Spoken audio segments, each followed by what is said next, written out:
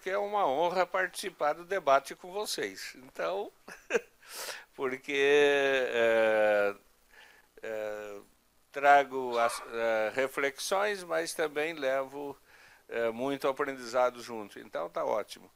Ah, é, ficaram faltando da parte da manhã cinco lâminas da. Então eu queria apresentar essas cinco lâminas é, rapidamente e daí a gente entra no debate. Ah, o primeiro aí coloquei dos 25 anos, 21 e 25, 21 anos de RDB, quer dizer, avanços, conquistas, dificuldades né, é, e perspectivas dessa segunda LDB.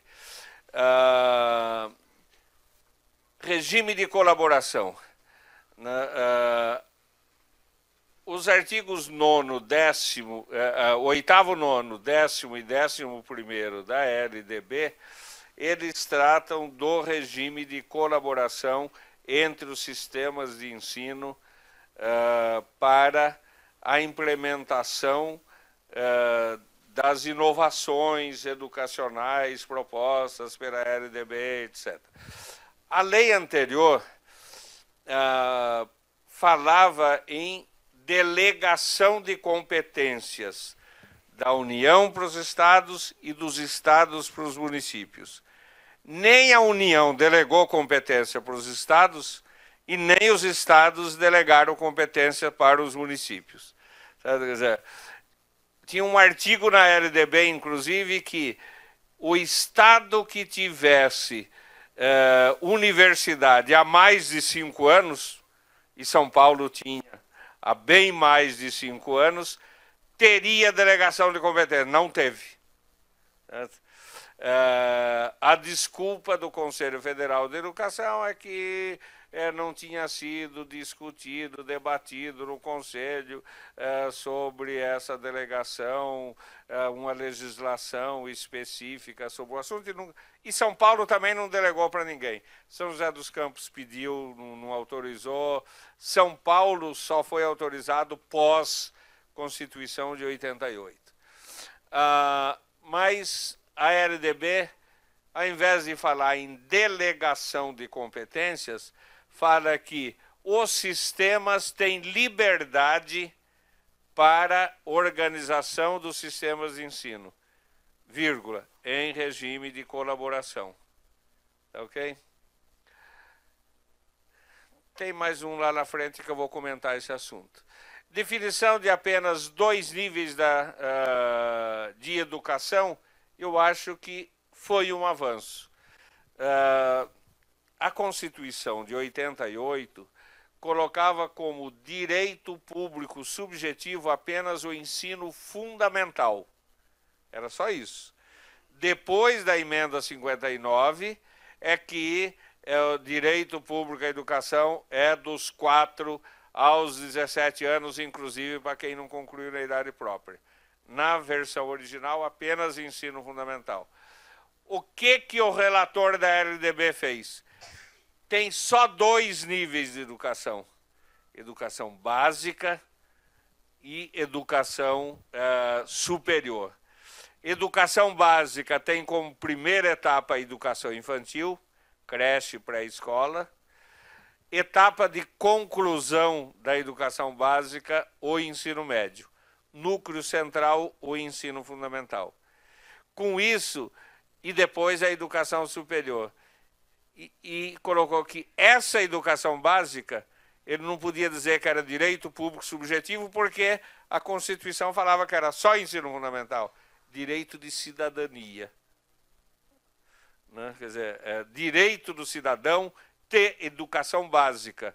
Essa educação básica contempla da educação infantil ao ensino fundamental. E daí a educação superior, para efeito de continuidade, etc. Certo?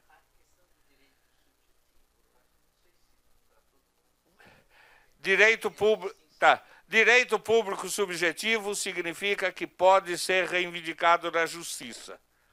Segundo, a não oferta é, implica em responsabilidade da autoridade competente. A não oferta ou oferta irregular. Isso está na Constituição uh, federal.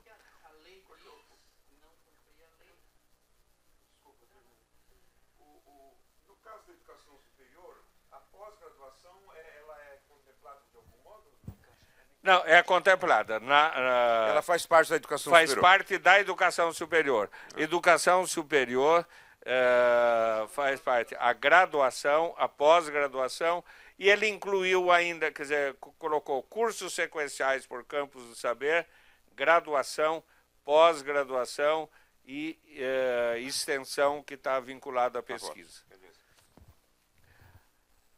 Uh, educação democrática de qualidade é definida na LDB por princípio, certo? São do, uh, a educação é para todos, é, é democrática e qualidade é, é, padrão mínimo de qualidade é, é, é, faz parte do direito público subjetivo das pessoas ou do direito de cidadania, etc com pluralismo de ideias e de concepções pedagógicas, vírgula, segundo proposta pedagógica do estabelecimento de ensino, que é vinculada aos resultados de aprendizagem dos alunos. É que essa questão tem que ser trabalhada sempre no projeto pedagógico é, da escola, vírgula, que na regulamentação ficou escola ou rede, mas na lei está escola. A possibilidade de existência de cursos e instituições experimentais. Zé Marazanha é um, um uh, especialista nessa área. Né, é possível. Agora, precisa ter vontade política para fazer, tanto das escolas, etc. Uh, educação profissional integrada aos diferentes níveis e modalidades de educação e as dimensões do trabalho, da ciência e da tecnologia. A educação profissional, ela está na LDB não na educação básica, nem na educação básica propriamente dita. Educação básica, primeira etapa é ensino, é, educação infantil, núcleo central ensino fundamental, e ensino médio.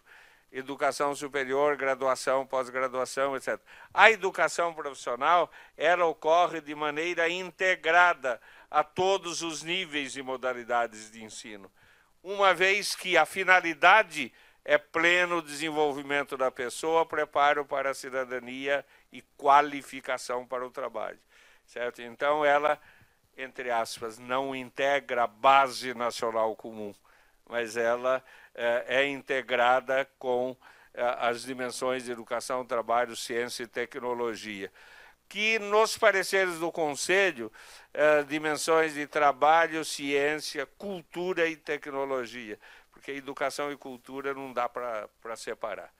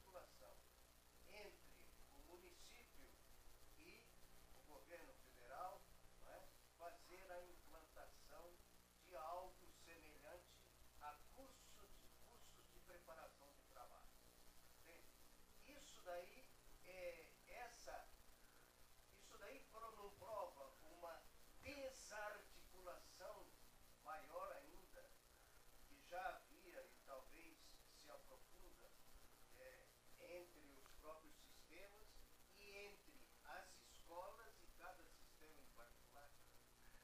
Isso comprova que tanto o sistema de ensino da União dos estados e dos municípios, uh, eles não estão cumprindo com o preceito constitucional.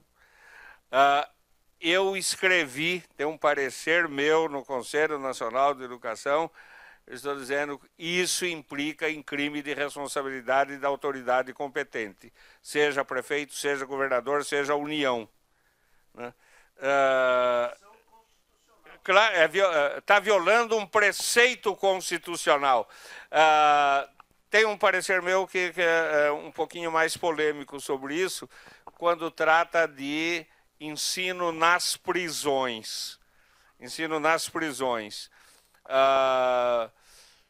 Mais de 80%, a semana passada saiu uma estatística da Folha, mais de 80% é, dos prisioneiros em é, estabelecimentos penais estaduais e federais não tem ensino fundamental completo. É, eu coloquei no meu parecer que isto é um de não manter ensino para esses presos está descumprindo um preceito constitucional. Não é pelo fato de ser preso que ele perdeu um direito público subjetivo. Não perdeu, certo? A não oferta é crime de responsabilidade da autoridade competente. Certo?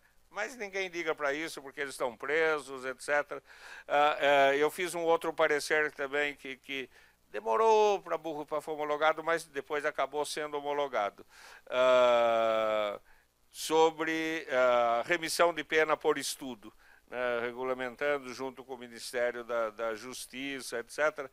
Até um dia desse eu vi nos jornais que o Cabral está se beneficiando desse parecer que ele está fazendo pós-graduação, né? Graduação. Ah, é, graduação de teologia. Pode fazer qualquer um, está autorizado. Pode fazer. Ah, exatamente, é teologia. Eu vi que ele estava fazendo um curso qualquer. Eu pensei que era pós-graduação.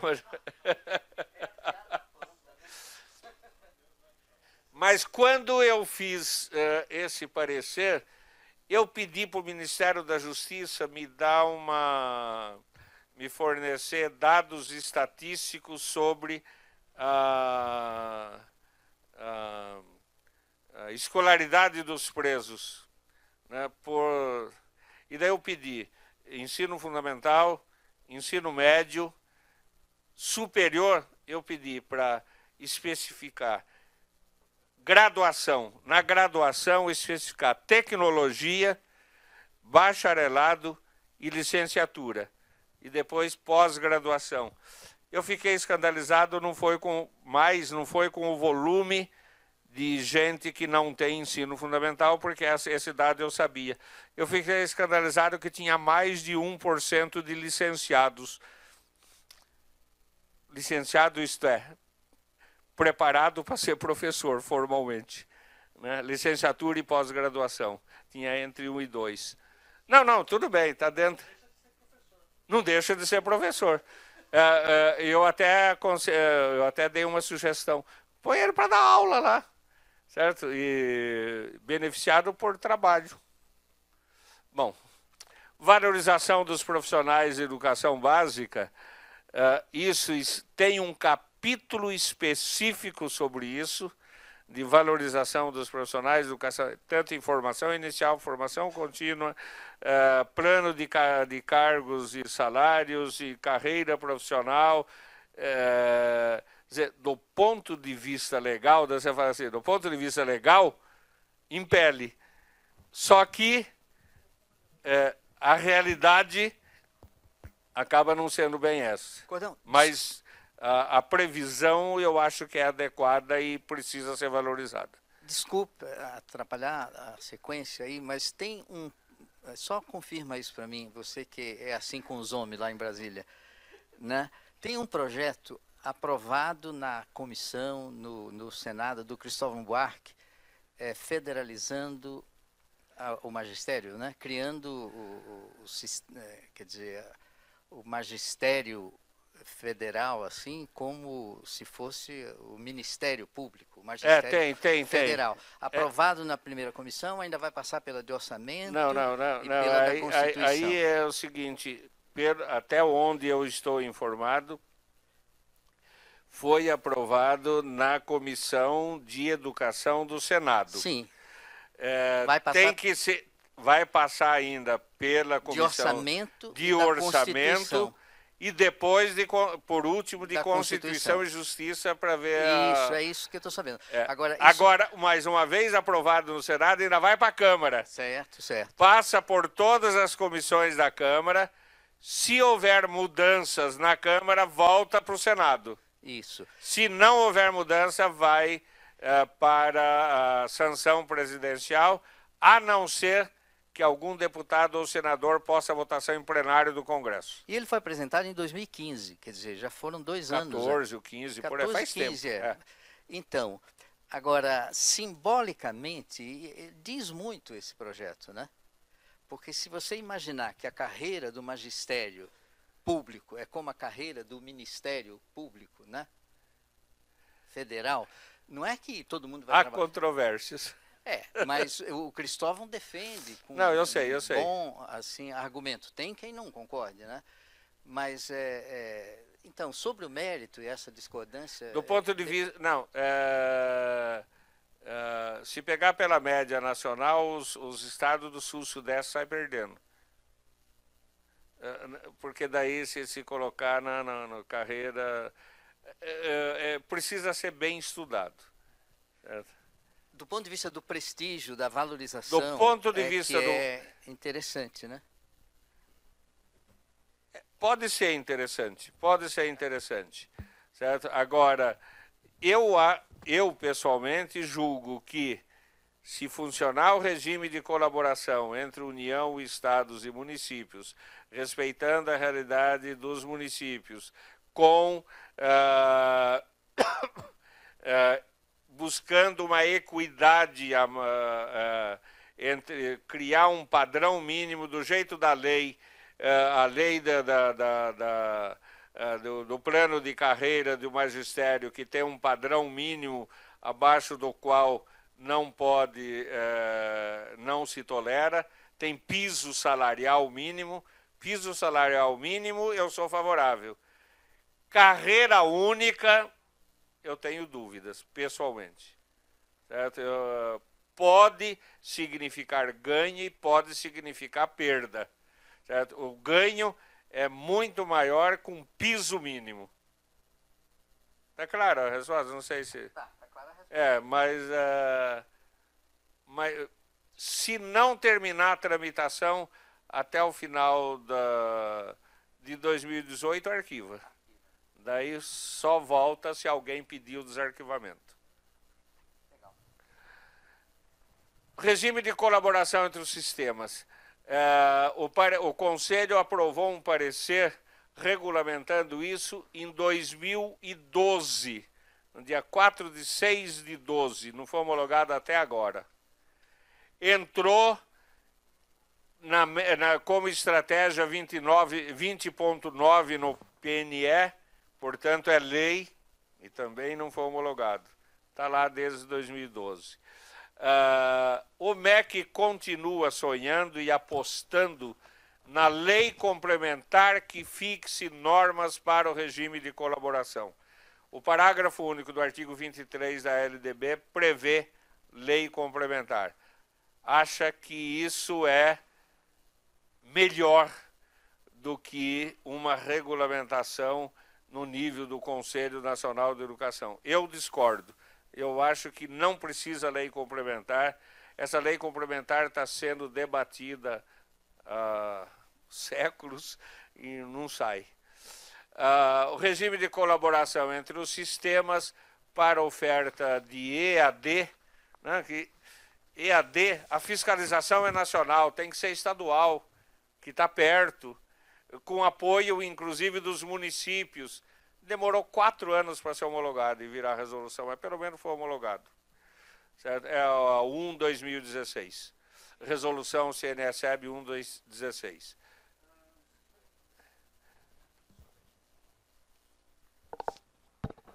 Só uma orientação. É, eu, eu, li alguma coisa sobre AD na área de saúde. Para odonto, vai... Ah, não. É que agora é o seguinte. Não, recentemente uh, foi, foram definidas novas normas de AD para a educação superior. Certo? Para a educação superior. Eh, não, educação superior. Uma questão é o seguinte, vamos, vamos pegar a área de saúde como exemplo. Então vamos pegar a área de saúde como exemplo. Assim, não, é, não pode haver AD na área de saúde. Né? Para alguns componentes curriculares, não. Né? Para outros, sim. Por exemplo, instrumentação cirúrgica tem que ser presencial, uh, decorar o nome de todos aqueles. Uh, uh, não precisa. O computador é mais. É mais é, é, é menos rigoroso do que o professor ali. Você pode repetir várias vezes, o professor fica cheio de repetir. Depende do conteúdo, certo? Tem, uni, tem universidades que trabalham, no, no México, por exemplo, todos os cursos. Eu estive na Universidade de Guadalajara. Na Universidade de Guadalajara, eles têm um departamento uh, de inovação educacional e praticamente todos os cursos de graduação têm componentes curriculares que podem ser trabalhados em AD, etc. Agora, no Brasil, Brasil, EAD é ruim. Vamos ver o resultado primeiro. Né? Tem, tem cursos uh, de, de uh, eh, EAD ruim, como tem cursos presenciais ruins também. A regulamentação do artigo 9 é, que eu já falei de manhã, é, sobre o CAC, né, que é, não foi é, não foi homologado ainda pelo Ministério da Educação, é, embora esteja em quatro estratégias da meta 9, na meta 20 do PNE. É custo, aluno, qualidade é, para os, é, a educação básica. Do meu ponto de vista, o grande destaque fica por conta do caráter descentralizador da LDB atual, que eu acho que é ele é ousado, inovador, valorizador do desenvolvimento da capacidade de aprendizagem dos educandos, que deve ser tratado com zelo e determinação por parte dos profissionais de educação, e por isso mesmo assume caráter flexivo, descentralizador, que requer o cultivo da cultura permanente da avaliação da aprendizagem dos educandos. Essa questão da avaliação da aprendizagem eu coloquei no próximo slide. Ela é ah, bastante eh, questionada. A LDB está calcada em dois eixos fundamentais: flexibilidade na organização de atividades e avaliação da aprendizagem. Certo? Eu volto mais para baixo. Uh, a educação profissional está na confluência de dois direitos fundamentais do cidadão, direito à educação e direito ao trabalho, que a nossa Constituição traduz como direito à profissionalização, que deve ser garantido, aspas, com absoluta prioridade. Artigo 227 da Constituição. Subordinar todas. A... Ah, bom, primeiro, vincular a educação escolar ao mundo do trabalho e à prática social artigo 1 da LDB, parágrafo 2 vincular, uh, subordinar todas as atividades de ensino aos resultados de aprendizagem, o que significa que a avaliação do educando não objetiva reprovação, e sim progressão contínua. Isso deu um rebu no Brasil inteiro. Porque a primeira interpretação, ah é? Não é para, não significa reprovação, então para que avaliar, né? Uh, progressão contínua, eu pus no próximo slide, acabou virando promoção automática. Nada mais errado do que isso, certo? Quando eu falo que o objetivo da avaliação não é reprovar, mas possibilitar a progressão contínua do aluno, não significa que não deva ser avaliado. Ele deve ser continuamente avaliado para que suas aprendizagens sirvam de alavanca para novas aprendizagens e possam ser criadas alternativas de recuperação daquilo que ele ainda não aprendeu. A estratégia pela LDB, artigo 13, compete ao professor. Condições para cumprir essa estratégia completa a escola.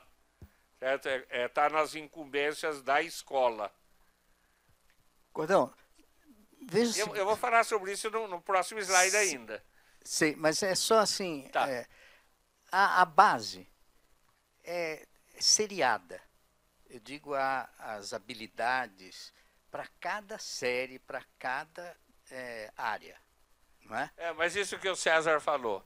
É, o, o, a, a, terceira versão da base colocou tudo seriado. Sim. Na resolução, no projeto de resolução é, que foi aprovado pelo Conselho Nacional de Educação, essa decisão é, é da escola, Sim. nos termos do artigo 23 da LDB. Certo? Você pode organizar escola ou rede, como entrou esse ou rede, pode organizar por séries, por ciclos, por semestres, por adiantamento, etc. Desde que o resultado de aprendizagem assim o recomendar. O que a resolução está dizendo é: você não pode deixar de ofertar aquilo que é direito de aprendizagem. Não necessariamente naquela série indicada. Aquilo é referencial. Na linha daquilo que o César falou. Isso está no texto da, da, da, do projeto de resolução do Neto e do Chico Soares. Uh, valorização de toda a aprendizagem pessoal, inclusive com possibilidade de avaliação, reconhecimento e certificação de conhecimentos e saberes adquiridos fora na escola, que podem ser aproveitados para fins de continuidade de estudos e até de certificação mediante avaliação.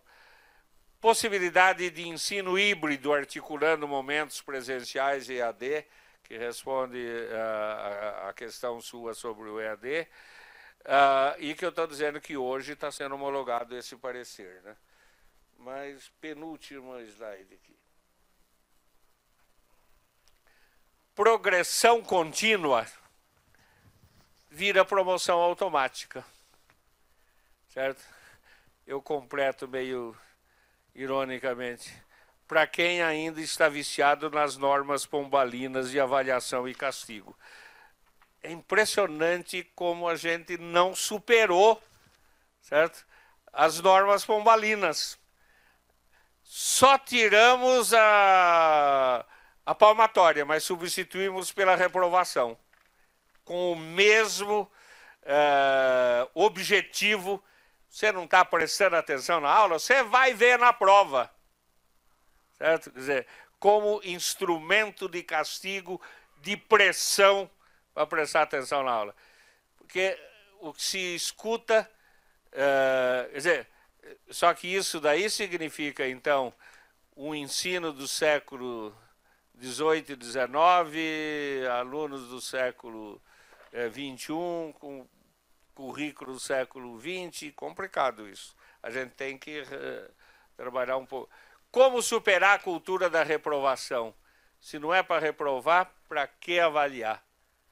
Né? Uh, e não adianta, eu uh, uh, o parecer da progressão contínua aqui em São Paulo é meu. Eu li várias vezes aquele parecer, falei, mas não é possível, será que eu não sei escrever? Né? como que ele foi interpretado como promoção automática tanto por professores quanto por autoridades de educação. Absurdo. Não é isso que está escrito lá. Eu estou acompanhando, acompanhei de perto a norma da LDB. como dominar classes barulhentas, uh, dispersas, desatentas, sem o fantasma da reprovação? Como motivá-los para prestar atenção às aulas? Eu completei do fazer de conta, né?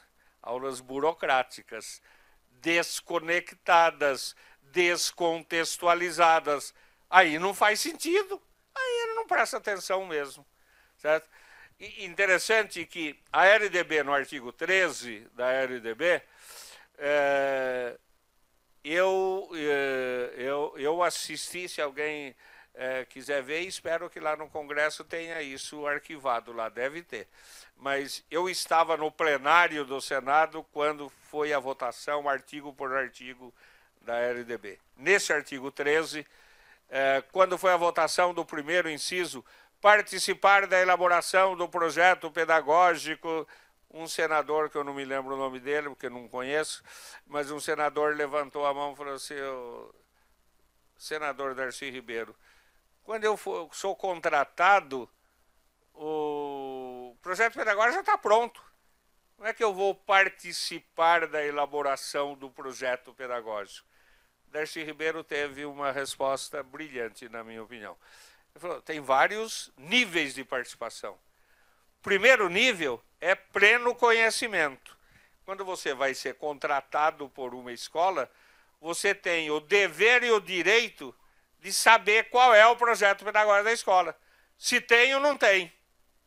Porque se o projeto pedagógico você não concorda, não assina o contrato, vai procurar outra escola. Agora, se você concorda, sinal de que você vai participar, etc., e vai tentar concretizar. Mas há um segundo nível. Né? Quer dizer, não basta conhecer, tem que concordar e decidir que vai é, colocar em prática. Mas também não basta, tem que ter um terceiro, você tem que decidir que vai melhorá-lo. Certo? Vai é, fazer de tudo para aperfeiçoá-lo graças ao seu conhecimento, etc. Perfeita resposta, na minha opinião. Uh, segundo, é fazer o seu plano de trabalho coerente com a proposta pedagógica da, univers... da, da, da, uh, da escola. Perfeito. Terceiro, zelar pela aprendizagem dos alunos. Perfeito. Quer dizer, porque toda atividade de ensino está fundamentada no zelo pela aprendizagem dos alunos. Isso aparece ao longo de toda a LDB. O quarto é recuperar os alunos de menor rendimento. E o quinto é dar aula. Aí o Riquião, aí eu sei que foi ele que fez a pergunta. O Riquião falou, senador, agora não, né? Inverte. Primeiro você dá aula, depois recupera os alunos de menor rendimento. Resposta do Darcy, não, senhor. Primeiro você descobre qual é o conhecimento dele. Como é que as pessoas aprendem? Não é fazendo o link da informação anterior com a nova para gerar o novo conhecimento. Se ele não tem a informação necessária para fazer o link com aquilo que você está falando, você vai dar aula para as paredes. E ele vai bagunçar. E você vai querer pôr ele para fora porque ele é desatento, etc. É, a sua aula tem que fazer sentido para ele. Então, tem que ter a contextualizada com ele. Se ele não sabe algo que é fundamental, ele tem que aprender antes de, de você ensinar aquilo que. Né, algo por aí. Uh, a mentalidade cartorial, esse é um entrave, porque eu sei que eu estou trabalhando agora nessa transparência nos entraves. Né, desde. Eu comecei lá com as heranças malditas, as entraves. Uh, mentalidade cartorial que valoriza mais o certificado que o diploma. Mais certificado e diploma do que o saber que o certificado e diploma representa. Tem muita gente, eu encontro muita gente que estou eh, fazendo faculdade, fazendo curso tal. Tá bom, o curso está uma droga. Mas em compensação, o ano que vem eu estou com o meu canudo na mão. Vai servir para quê? Certo? Mas é a nossa mentalidade cartorial, uma das heranças malditas. Certo? Não vou prestar atenção, não. Eu, o que me interessa é o diploma. Certo? O que interessa é a versão, não é o fato. Né? Tanto que muita gente, quando uh, encontra com a Polícia Federal, fala, ah, você. Quem vazou? É aversão. É, valoriza muito mais o ensino ministrado. Eu cumpri o programa. Não aprendeu porque é desatento, porque não está interessado, porque, porque, porque, porque. Paulo Freire criticava muito isso. É a educação bancária.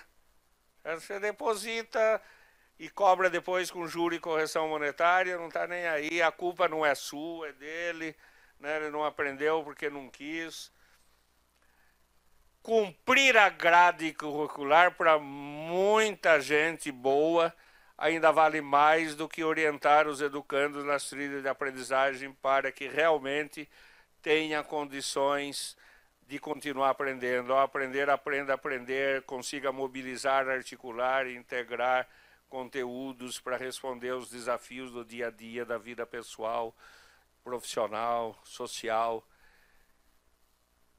Uh,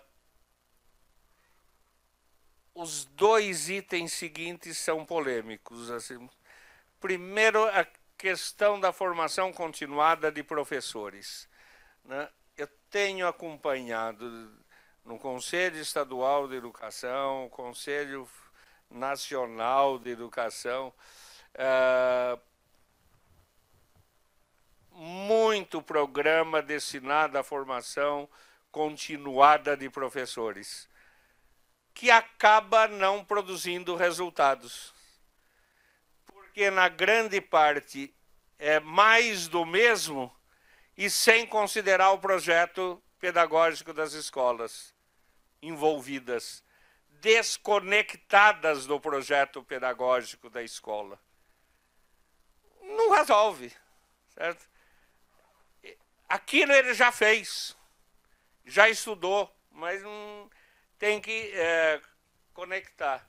E, e o, o outro é sobre formação inicial dos professores, principalmente para as escolas públicas de periferia urbana, para jovens da idade mídia, como eu estou né, que não é considerado prioridade em grande parte dos cursos de licenciatura. Tem bons cursos de licenciatura descolados da realidade da escola pública. Eu queria, uh, o projeto que eu perdi na última sessão do Conselho, uh, eu estava com uma proposta que uh, talvez não fosse o momento de ser aprovada mesmo ainda, por isso que não foi. Ah, mas eu estava colocando cursos de licenciatura de escolas públicas, universidades públicas, o estágio tem que ser em escola pública. E de escola particular, preferencialmente em escola pública. Estágio em escola particular ele pode fazer pago. Ah, não precisa ser aquele estágio curricular obrigatório, muitas vezes gratuito, etc. Tem que ser essencialmente em escola pública. Certo? Que ele tem que aprender a dar aula para aquela clientela. Não posso falar das comunidades, né? Tem que falar das.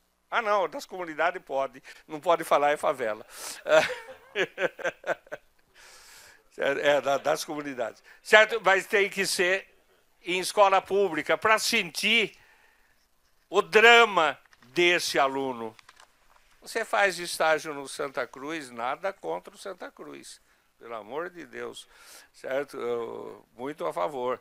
Mas não aprendeu, certo? A hora que cai no vizinho aqui, Paraisópolis, né? Certo? E...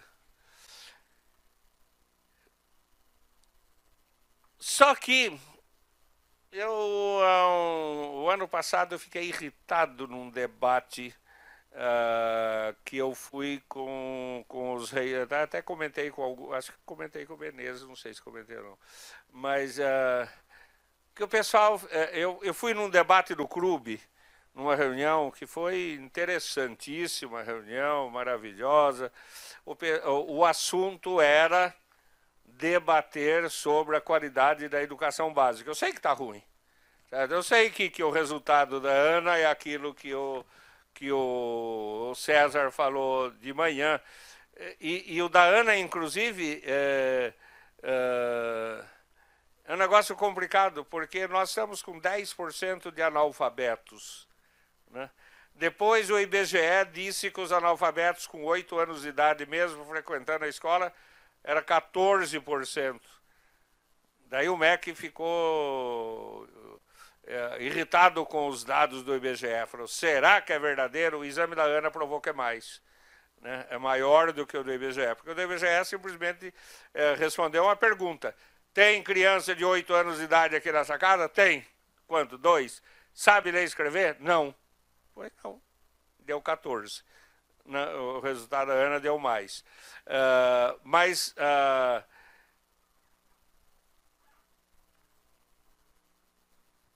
as, eu estava num, num, momento com reitores de universidades discutindo qualidade da educação.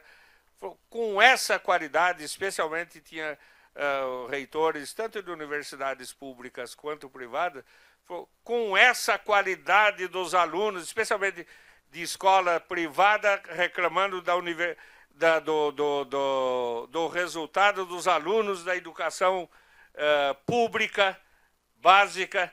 Não dá para manter esse nível de, de, de, de qualidade que o MEC está exigindo nas avaliações, etc., com esses alunos, com esse nível de aluno. Uh, eu usei uma palavra forte que estou repetindo aqui, não estou pensando em vocês, uh, mas gostaria que o pessoal pensasse isso junto comigo. Esse discurso é hipócrita. Certo? Dizer, a quem compete formar os professores da educação básica cujos alunos recebem depois? Não é a própria universidade? Como é que eu vou resolver isso? Certo? Isso é. Concordo com tudo que você falou a respeito de carreira, valorização, etc. Lembra que no começo eu estava falando aqui, na, na, década de 40, quando o Capanema fez o conjunto de leis orgânicas, ele colocou para as elites condutoras secundário, normal, normal era a formação de professores primários e superior certo? Para os pobres era o ensino profissional, certo? Uh, agora o Capanema teria colocado licenciatura junto com o profissional ali na, na, na no mesmo bolo, talvez. Mas uh, nós temos a nação brasileira precisa investir na forma adequadamente na formação de professores em condições de resolver é, essa equação. Aquilo que eu coloquei por estágio é uma ponta de iceberg, mas nem isso uh, o Conselho quis assumir. Espero que os próximos assumam. A universidade tem uma grande responsabilidade em relação à educação básica, especialmente em relação à formação inicial e continuada de professores. Especialmente. Claro que só isso não resolve, também tem a questão do plano de carreira, também tem a questão de concursos públicos, também tem, tem um monte de outras variáveis. Mas esta da formação inicial e continuada, a universidade pode e deve dar uma contribuição que, salvo honrosas exceções, não está dando. eu estou falando do ponto de vista geral certo? Mas vale como reflexão para todos nós educadores. É, tem uma responsabilidade muito grande em relação à educação básica, que é direito subjetivo do cidadão. Agora, sem discriminação de qualquer natureza, inclusive de idade, quer dizer, para adulto também. Né? Quem prepara professores para trabalhar com, com jovens e adultos? pouquíssimos. Aqui na USP tem, né, alguns professores que estudam essa questão, mas é, é raríssimo. A Esther está aposentada? Não, a Esther Piconês está aqui ainda. Estela, tá? Tá, né, Estela? Ela é uma das que estuda esse assunto. Ah, está aposentada. Certo? Uh, Lisete, etc. Então não vou falar mais nome de ninguém. não, não, mas aí é desconhecimento meu. Uh, então, tem uma responsabilidade que isso precisa ser melhor debatido, certo? E, para concluir,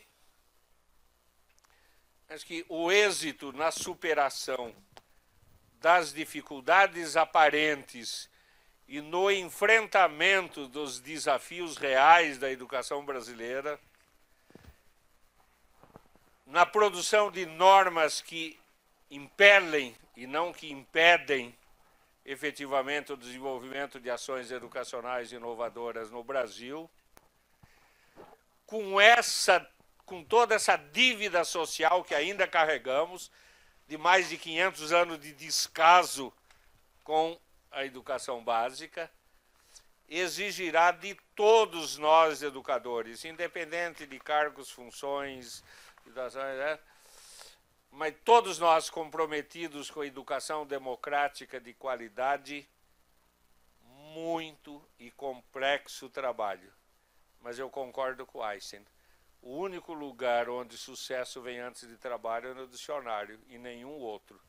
Portanto, para todos nós, eu desejo muito trabalho e, claro, muito sucesso.